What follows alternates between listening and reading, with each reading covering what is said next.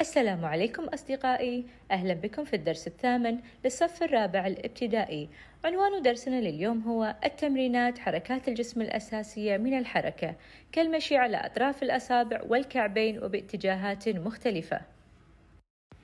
في البداية يجب علينا القيام بتمارين الإحماء لأنها مهمة لإعداد الجسم وتهيئته لاستقبال المهارة.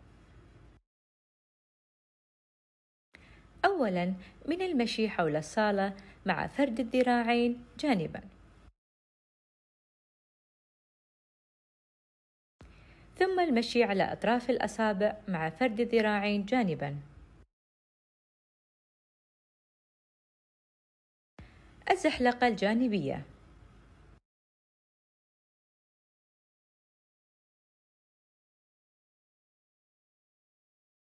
الحجل مع ثني الذراعين وثبات الكفين على الوسط.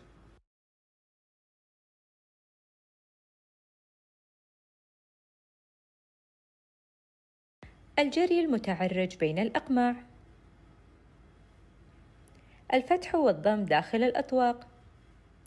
ثم الصعود والنزول على الستبس. والقفز فوق الحواجز.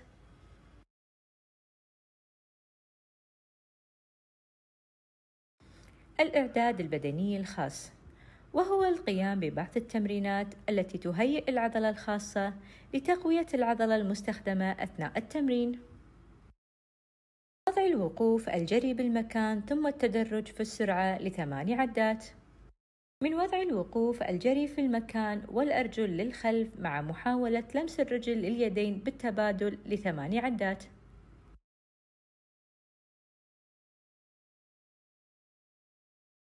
بأداء الطعن للأمام مع مراعاة فرد الرجل الأخرى ثماني عدات للجهتين.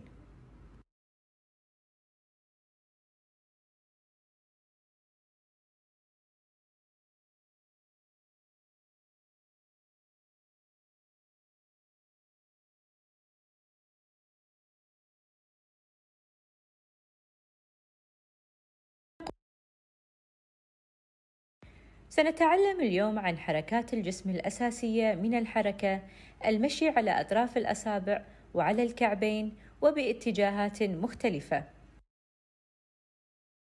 ما هي حركات الجسم الأساسية؟ وهي عبارة عن حركات جسمية مختلفة ومتعددة يقوم بها الجسم في حدود إمكانياته الطبيعية وهي حركة معبرة وذات معنى. ومن أمثلتها المشي الجري الحجل الارتداد الوثب والتوازن. المشي. يعتبر المشي إحدى الحركات الأساسية التي يستخدمها الإنسان بصورة دائمة. ومن أنواع المشي المشي العادي وهو يتصف باعتدال القامة والاقتصاد في بذل الجهد وتبدأ الحركة من العقب وتتدرج إلى باطن القدم ثم المشط وأصابع القدم وتتأرجح الذراعان على جانبي الجسم بحرية. ويجب فرد الجسم والنظر للأمام مع فرد الذراعين ومرجحتها بعكس اتجاه الرجلين.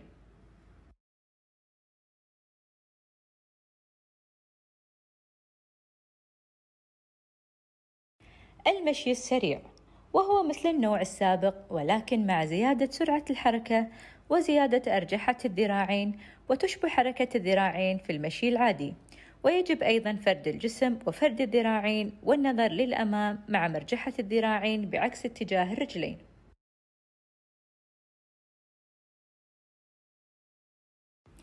المشي على أطراف الأصابع. وهو كالمشي العادي ولكن مع عدم ملامسة عقب القدم للأرض.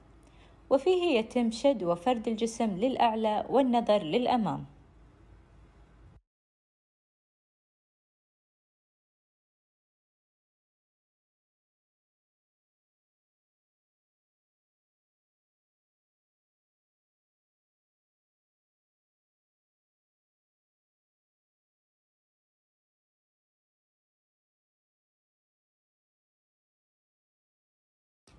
المشي على الكعبين.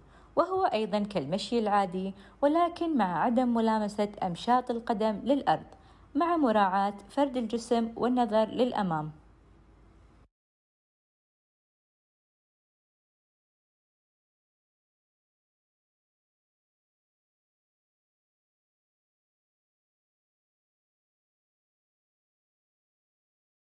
المشي المتقاطع أماماً. وفيه يتحرك الجسم جانبا مع تبادل تقاطع الرجلين أماما مع مراعاة فرد الجسم والنظر للأمام. المشي المتقاطع خلفا وفيه أيضا يتحرك الجسم جانبا مع تبادل تقاطع الرجلين خلفا. تطبيقات للمهارة. من المشي المتعرج بين الأقماع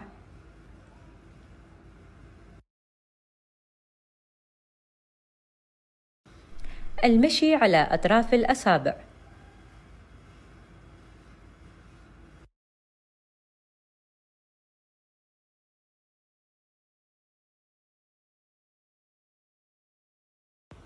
وأخيرا المشي المتقاطع أماماً.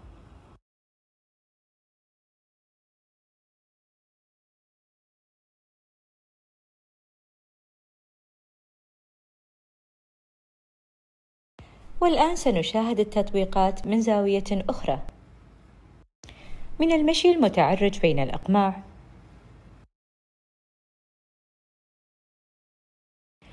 المشي على أطراف الأصابع.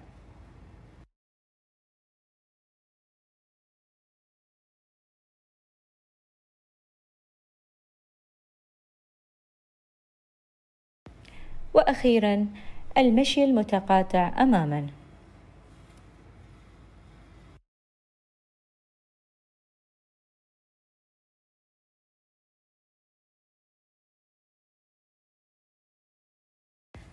أحسنتم. تمرينات الاسترخاء.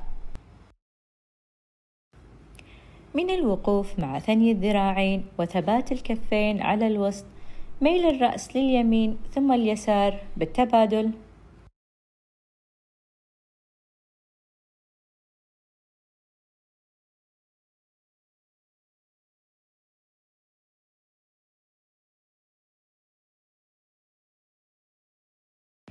ثم ميل الرأس للخلف وللأمام.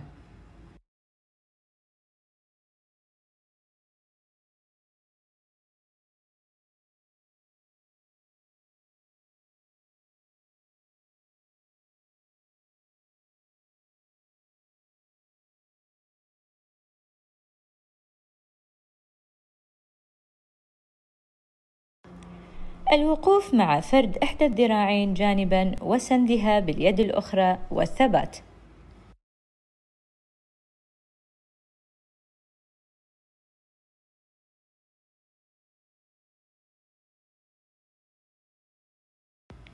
ثم العكس.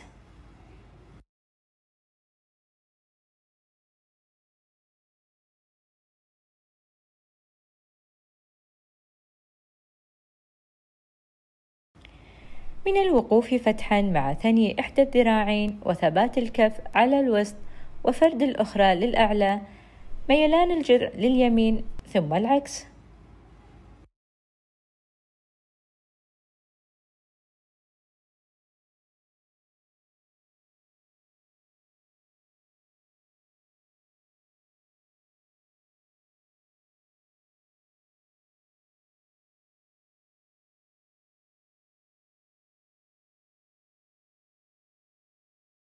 من وضع الوقوف فتحا الطعن الجانبي والثبات.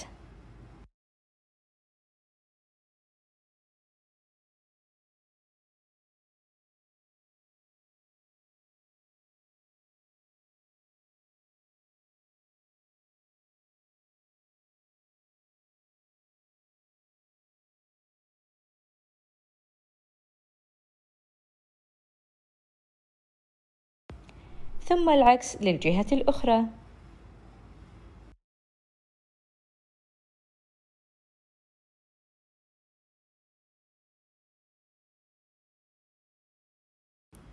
من وضع الجلوس الطويل تشابك الأصابع وفرد الذراعين للأمام مع محاولة لمس أمشاط القدم.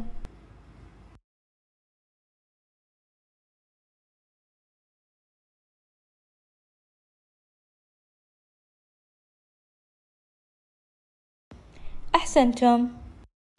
ختاما أتمنى أن تكونوا قد استفدتم من الدرس. إلى اللقاء أصدقائي.